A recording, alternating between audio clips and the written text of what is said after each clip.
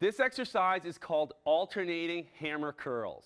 To perform this exercise, take the JACKRACK hand grips off of the unit and load on the appropriate amount of weight for your level of desired resistance. Now, Brianna is going to show you how to do this exercise.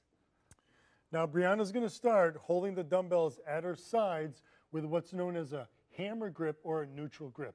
That means her palms face her thighs. Then, one arm at a time, she curls them up, bringing the weight to her shoulders and then back down, alternating arms with each repetition.